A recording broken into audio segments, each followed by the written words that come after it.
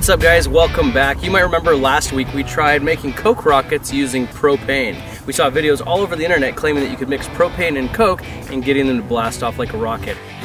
However, when we tried that, we found that that is an epic fail. Oh boy. Now when I discovered that propane does absolutely nothing, it hit me that maybe something got lost in translation. Maybe the experiment is supposed to be done with butane. So the purpose of our experiment today is to see if we can get these Coke bottle rockets blasting off using butane. So in preparation for this experiment, I went down to the local hardware store. I cleaned them out of butane. I bought everything that they had. Now butane comes in canisters like this. It has very similar properties to propane. It's under pressure and it's an extreme fire hazard. Now getting this out in liquid form is a lot easier than the propane. All you have to do is pop off the cap, turn the canister upside down, find a way to depress the nozzle, and have some kind of a container to collect the liquid underneath. All right, so we've got our butane, we've got our bottle of Coke. Here's the basic idea of how the experiment's gonna work. First, we'll need to pour a little Coke out of our Coke bottle so the liquid levels off just below the lettering on Coca. Then we're gonna take our canister of butane, turn it upside down, and squirt the butane into the bottle of Coke until the liquid level rises to the top of the label. At that point, it's just a matter of loosely holding the bottle in our hands, turning it upside down, and watching the magic happen.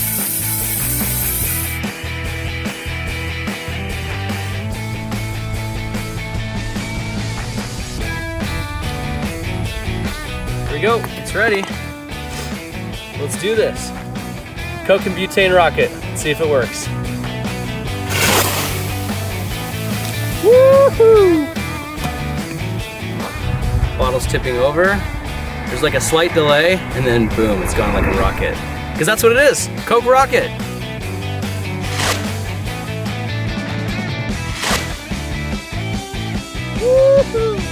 That's the reaction I was looking for.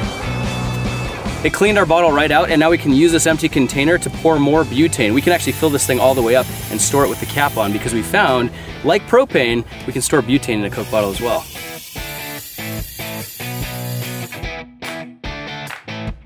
Interesting observation, guys. I just went through two of these canisters of butane filling up this Coke bottle. We made it to the top of the label there, which is about 350 milliliters, and that right there costs about $10. You're looking at $10 of liquid butane, guys.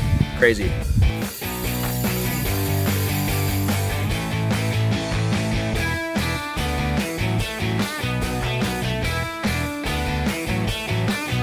All right guys, it's time for test number two. This time I poured out a little less liquid. You can see the top of the Coke lines up with the top of the label here. We're gonna pour some butane into the Coke bottle until it forms a layer about an inch high, flip the Coke bottle over, and see if that takes off any more vigorously.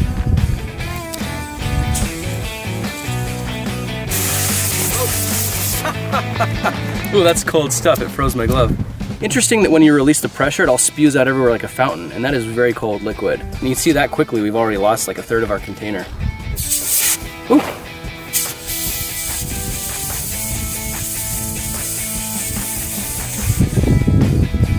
Wow. It's amazing how much of that liquid disappears in the If I just pour it in there slowly, it blows bubbles. it vapes off pretty quickly. There we go. That's a good amount of liquid right there, I think. Ready for this? Let's do it.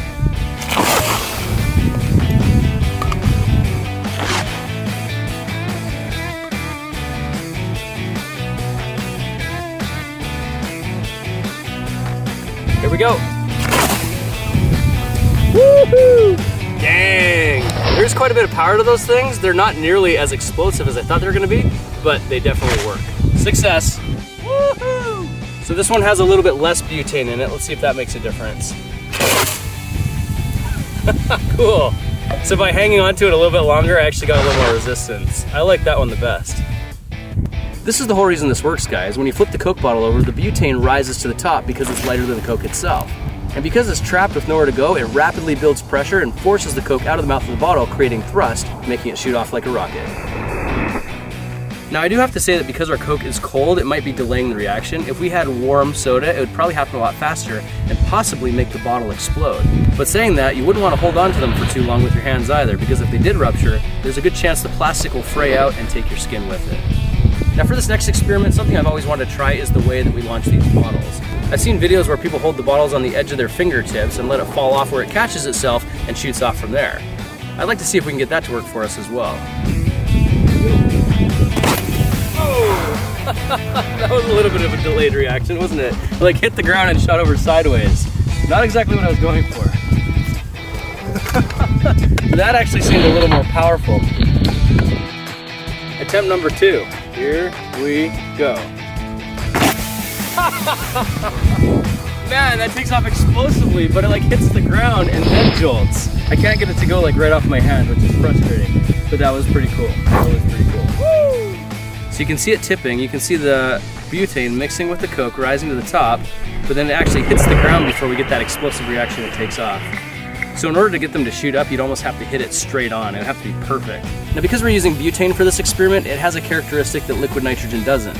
Liquid nitrogen is not flammable, but butane is. So for our grand finale, let's do something that you definitely shouldn't try at home. Let's light it off and see if we can get our Coke rocket to blast off in flames. Woo!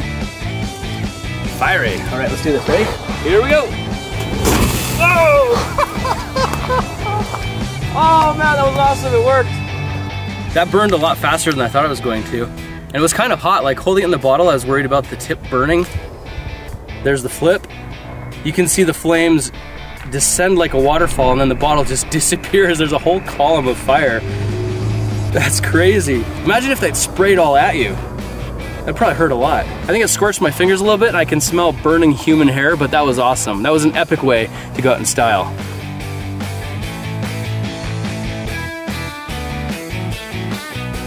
Right on guys, so here's what we learned from our experiments today. We started off with the knowledge that propane and coke don't do anything, so we wanted to try using butane to see if we can get that to cause a reaction instead. Although the reactions weren't nearly as powerful as I'm used to seeing with liquid nitrogen and water, they still were powerful enough to make a coke rocket. It's a viable idea. We also discovered that one canister of butane will fill up a Coke bottle about halfway and give you enough for two Coke bottle shots.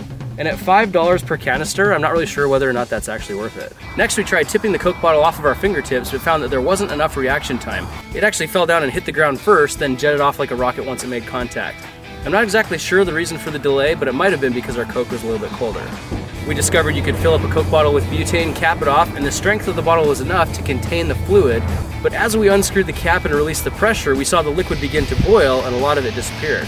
For our final experiment and grand finale, we showed that unlike liquid nitrogen, butane is extremely flammable. So we lit off the gas, turned our bottle upside down, and watched our rocket blast off in a flamey, fiery fashion. And there we have it. Based on this set of experiments, I'd say the Coke and butane rocket is a success. Thanks for joining me for this experiment, guys. I'll be looking for you in the next video. Talk to you then. Yeah, it looked great.